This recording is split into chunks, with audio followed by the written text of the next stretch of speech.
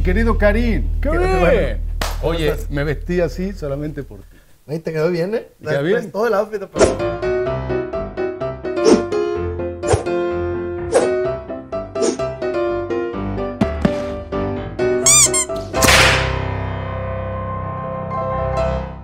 Ahí te quedó bien, ¿eh? Traes- bien? todo el outfit, papá.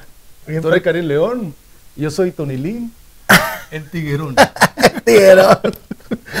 A punto de subir al escenario aquí en Miami, te quedan cuatro ciudades más en esta gira en Estados Unidos. ¿Qué se siente ya a punto de empezar ese escenario y miles de gente esperándote ahí? Eh, creo que siempre hay algo que, como todo artista, siempre hay un nerviosito, ¿no? Que creo que nunca se va y creo que cuando se va es cuando se pierde la magia. Yo siento que, el, que estoy, como te decía ahorita, bien increíble por todo lo que está pasando y, y me planteé en vivir el sueño, nada más en vivir un día a la vez, como dicen, y disfrutar este escenario, porque es la última vez que pido este escenario en estas condiciones y en este momento, ¿no? Y guardar cada momento como único, como este, y como toda esta gira ha facilitado muchísimo las cosas y ni cansado anda uno y nada más es bendiciendo y agradeciendo por todo lo que la música y Dios nos ha regalado a ustedes. Luego de aquí te diriges a parte de Latinoamérica y en diciembre descansas. Sí, descansar un poquito. Bueno, descansar entre comillas, ¿no? Meterse al estudio, que para mí no es trabajo. eh, eh, creo volver a eso, ¿no? Volver al trabajo, al otro trabajo que, que mucha gente no ve, ¿no? Al, al trabajo de, de encontrar la paz, de encontrar la calma para seguir creando. ¿Tienes algún ritual antes de subir al escenario? No, la verdad, fíjate que no. Soy una persona que, que a veces peco hasta de descuidar esas cosas. De, muchas veces nomás llego, subo, ni, muchas veces no hago ni ejercicios, a veces vocales o cosas así. La verdad es, siempre he sido como que muy, muy gitano, muy dejando las cosas ahí a la ligera y creo que es parte también del, de mi proyecto y de, y- y de lo que yo represento con el personaje, ¿no? Desde ese baile. Algo que fluye muy bien en el escenario es tu forma de bailar. Tú sabes con quién tú estás hablando, ¿no? Yo fui el ganador del sexto lugar de Mira quién baila 2020. No, tú sí le entiendes a la bailada, yo le hago loco. No, tú le- baila muy bien. No. ¿Esa coreografía tú la montas o sale allí de repente? Sale, sale. Es... ¿Cómo son los pasitos? A ver, a ver, ahí. eso. Los- Párate, los párate. pasitos. Ahí. Depende, pa. Es como que mucho taconeo. Es con, el, es con la bota, hay que aprovechar las botas, pues. Hay que aprovechar el, impulso que te da la bota y el, ta- y el tacón. Te voy a dar una clasecita, ¿ok? Tienes que darme una clase, la neta, porque ahí de repente me tupe la raza, pero uno lo hace No, te queda muy bien. con ganas. Colmillo de leche. El álbum está nominado al Latin Grammy. Nos veremos en Sevilla. Sí. ¿Esperabas esta nominación?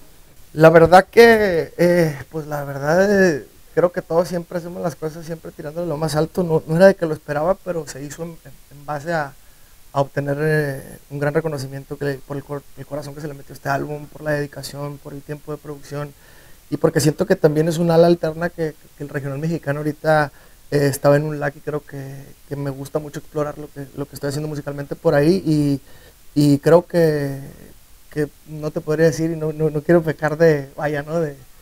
De presuntuoso, pero la verdad creo que sí se, se lo merecía y estamos bien contentos por, por, las, por los reconocimientos que, que la Academia nos brinda con, con este disco. ¿no? ¿Estarás en Sevilla? Claro, claro que sí, encantado. Vamos de reventón una noche Tenemos tuyo, que ¿ok? ir. Sí, tenemos que ir, urge. Tengo mis contactos allá, ¿ok?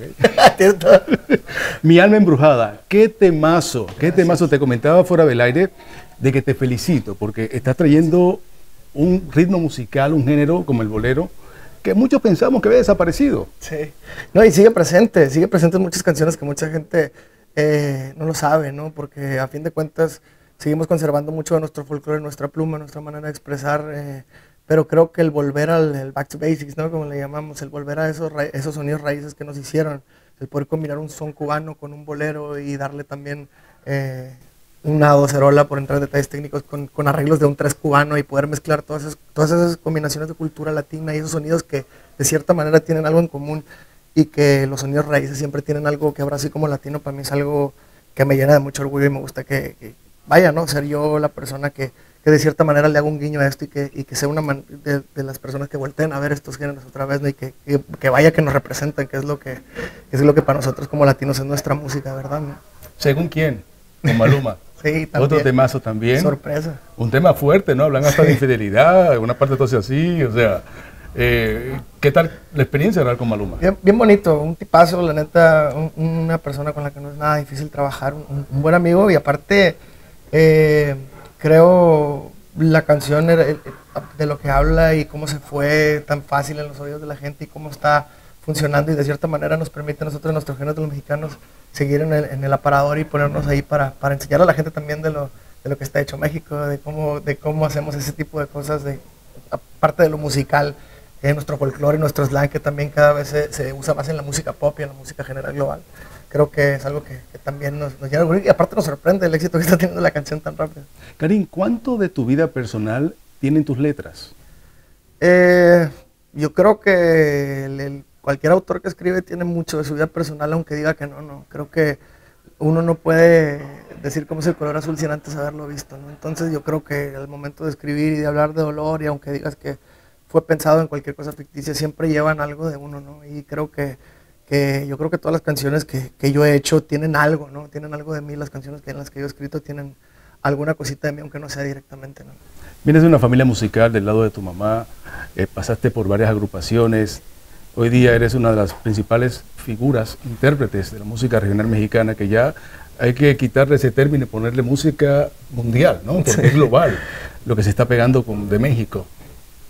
¿Te cayó el 20? No, la neta no, todavía no me cae el 20. Yo eh, sigo jugando este juego, me gusta mucho eh, el, el, vivir con la música, el, el, seguir soñando como, como el niño, que creo que en un tiempo donde creo como todos eh, estamos viéndolo de otra manera y después pasamos para llegar a apreciar las cosas que en verdad importan. Y hoy que me encuentro otra vez con, con mi niño, con ese que soñaba con el día de hoy, hoy por eso creo que en el escenario me siento rockstar, me doy, es como el, estoy dejándome llevar y creo que eh, es perderle el miedo al ridículo, perderle el miedo a lo que va a decir la gente. Y creo que es todo eso lo que representa la carrera de Karim León, ¿no? el, el, ir fuera del esquema, no buscar la tendencia, no buscar el ser aceptado, ¿no? simple y sencillamente hacerlo de uno y, y, si la gente lo acepta, qué bueno, y si no, pues lo hacemos de todo corazón, ya habrá quien, que nos quiera, ¿no? que siempre ha sido nuestra filosofía eso es lo que nos ha llevado ahorita. Eres una gran estrella, eres muy humilde. Gracias, amigo. Y te admiro eso y, y, y, te deseo lo mejor. No, que siga, que siga el éxito, que sigas triunfando y que eh,